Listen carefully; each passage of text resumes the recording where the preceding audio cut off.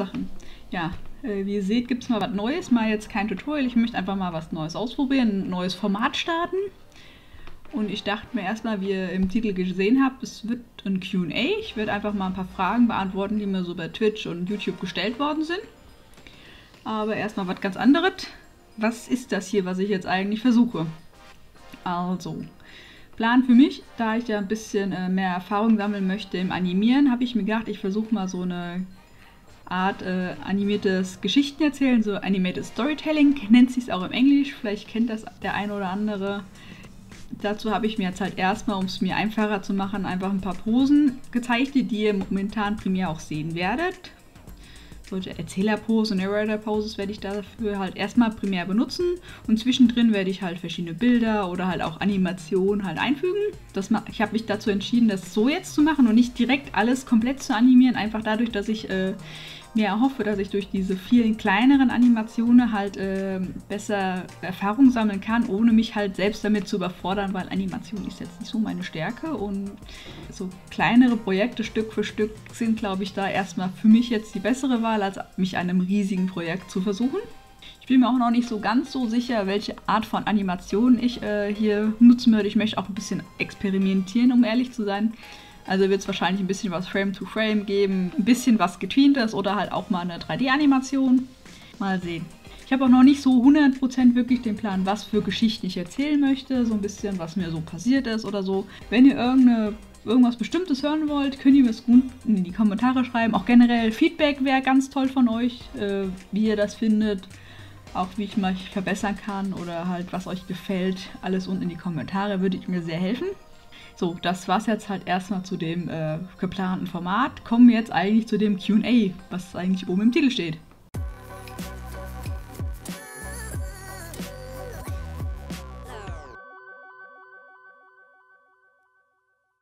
Warnum, zum Beispiel Warnum ist ja gar nicht mein echter Name. Wer hätte das gedacht? Der Name ist mein Künstlername und unter dem kann man mich halt auf verschiedenen Social Media Seiten finden, wie Instagram, Twitch, DeviantArt und so weiter, halt auch YouTube. Wie ihr sehen könnt, ja, ja, ist quasi mein Alias, unter dem ich alles teile, woran ich jetzt arbeite, seien es Bilder, 3D-Geschichten, irgendwas aufs Unreal oder halt die Videos oder Streams.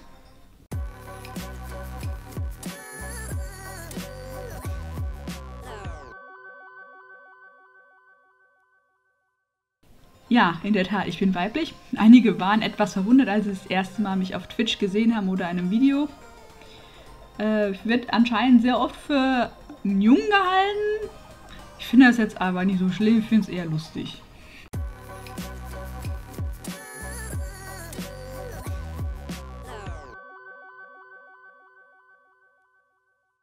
In dem Moment, in dem dieses Video entsteht, bin ich ganze 27 Jahre alt. Und wenn wir schon dabei sind, das gehört ja auch irgendwo dazu, ich habe im Mai Geburtstag und bin also ein Zwilling. Also ein waschechter Mai-Zwilling. Aber mehr möchte ich nicht verraten.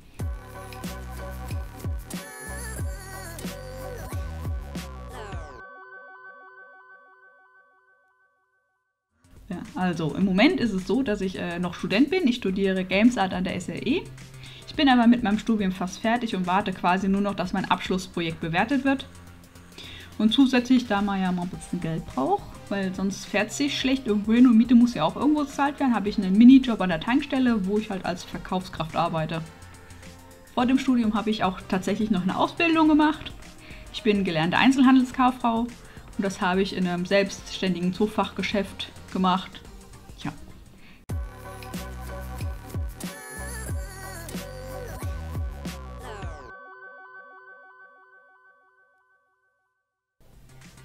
Ja, natürlich habe ich noch Pläne nach dem Abschluss. Ich möchte halt äh, nach dem Abschluss auch als Games Artist arbeiten. Genauer, um genauer zu sein, würde ich halt gerne als Modeler, um noch genauer zu sein, als Environment Artist arbeiten.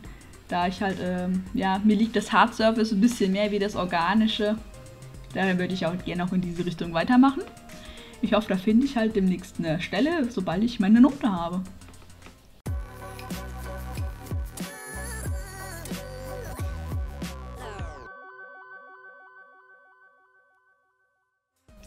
Ja, das sind jetzt ein paar Programme. Äh, fangen wir erstmal mit dem Zeichnen an.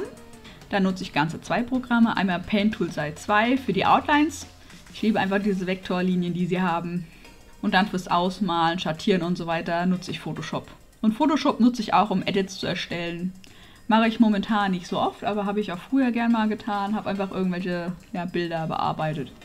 Für meine Arbeit als Game Artist kommen halt wieder ein paar mehr Programme. Zum einen nutze ich aktuell äh, fürs Modellieren Blender. Normalerweise bin ich Maya oder Max gewohnt, aber ich habe momentan halt leider keine Lizenzen mehr für diese Programme und Blender ist ja kostenlos.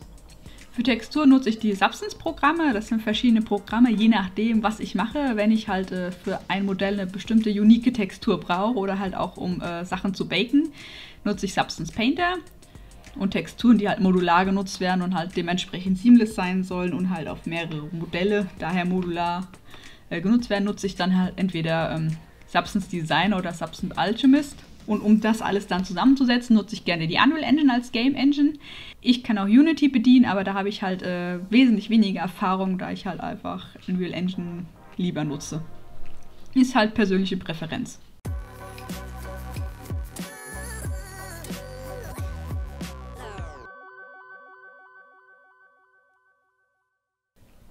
Wenn du damit einen Auftrag meinst, ja, ich nehme Aufträge an. Ich habe auf YouTube und auf Twitch meine Homepage unten verlinkt. Und dort kannst du dir einfach alles nachlesen, was ich generell anbiete, wie meine Regeln sind, wie viel was kostet. Das kannst du dort alles in Ruhe nachlesen. Und dort direkt auf der Seite mir eine E-Mail schreiben. Da ist ein kleines Feld, das kannst du ausfüllen, was du möchtest. Und ähm, ich werde dir dann darauf antworten und eventuell noch ein paar offene Fragen klären. Ansonsten zeige ich ab und zu auch mal auf Twitch und nehme dort kleinere Aufträge an, wie jetzt Emotes zum Beispiel oder halt äh, simple Sachen. Ist aber kein festes Versprechen.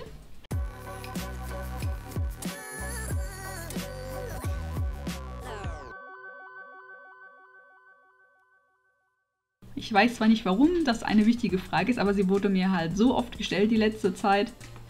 Also scheint sie ja für den einen oder anderen wichtig zu sein. Also nein, ich habe keinen Partner. Und für alle aufgepasst, ich will auch keinen Partner.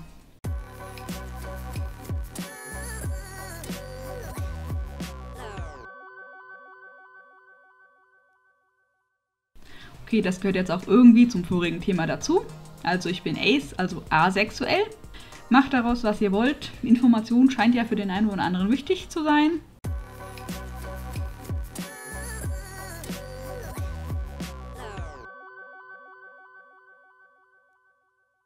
Ja, ich habe Haustiere und zwar so einige.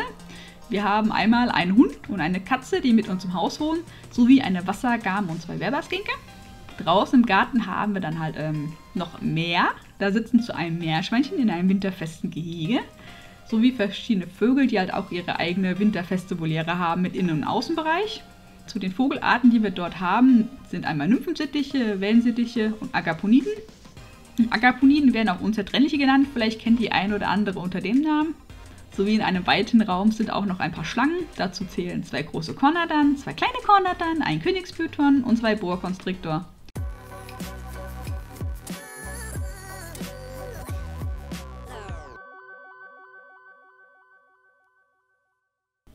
Schwere Frage, bei all den tollen Tieren kann man sich ja kaum entscheiden. Aber ich würde sagen Raben. Ich finde die Tiere einfach sehr interessant, auch gerade von der Mythologie her. Und ich habe mir nicht umsonst einen Raben auf die Schulter tätowieren lassen.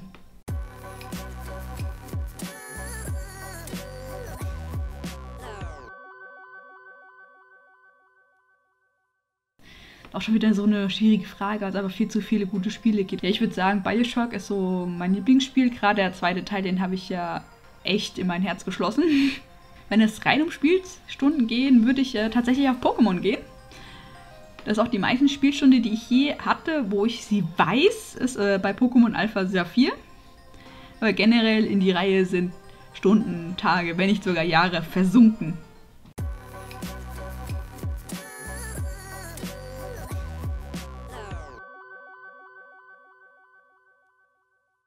Nummern die sind ja schon cool, aber ich habe mich von Anfang an immer für äh, die tolle knollige Sesam entschieden. Von Anfang an hat mir der Pflanzenstarter eigentlich immer am besten gefallen und ich habe auch das immer durchgezogen und habe auch wirklich in jedem Spiel als erstes immer den Pflanzenstarter genommen. Ja, never change running system.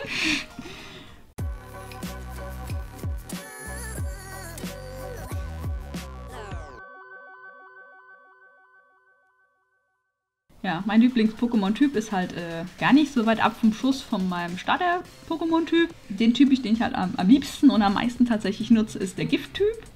Und ja, trifft sich ja gut, ist Pflanze Gift. ich glaube, da habe ich meine Passion einfach gefunden. Ich mag halt einfach Dodge haben und so fiese Sachen.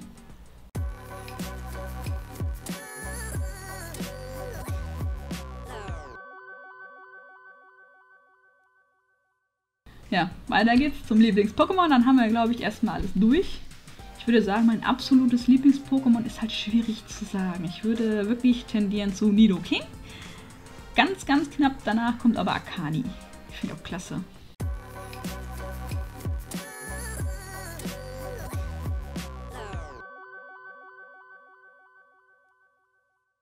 Äh, ich packe in diesem Punkt einfach mal Edition und Generation einfach mal zusammen. Die sind ja so ein bisschen Koexistenz, die gehören ja einfach zusammen und das macht das halt für mich jetzt erstmal ein bisschen einfacher. Also meine Lieblingsedition bzw. Generation ist halt die Edition Saphir und Smaragd, beziehungsweise halt tatsächlich die dritte Generation. Da habe ich einfach die meiste Nostalgie mit. Die Spiele habe ich am meisten gespielt. Und gerade dann halt auch das äh, Alpha Saphir, was ich mir geholt habe, wirklich diese Nostalgie wieder zurückgeholt. Das ist auch, glaube ich, das Spiel, wo ich halt die meisten Stunden angesammelt habe, wo ich halt einfach weiß, wie viele Stunden ich gespielt habe. So, jetzt haben ja einige Fragen geklärt. Ich habe jetzt einfach die Fragen genommen, die halt öfters vorgekommen sind. Ich hoffe, die Audio ist halbwegs okay. Bei uns fahren momentan so viele Autos hin und her. Ich habe keine Lust, das alles vor mich herzuschieben. Ich werde versuchen, so gut wie äh, alles äh, rauszuschneiden. Ist jetzt im Video als einfacher wie auf Twitch. Apropos Twitch. Das war ja mal eine super Überleitung. Schaut auch gerne mal auf Twitch vorbei. Äh, da bin ich am Zeichnen, Modellieren oder auch mal am Spielen. Ja, ich hoffe, euch hat das Video gefallen. Lasst doch mal ein Like und einen Kommentar da, wenn es euch gefallen hat. Das wäre echt super lieb von euch. Und äh, man sieht sich im nächsten Video.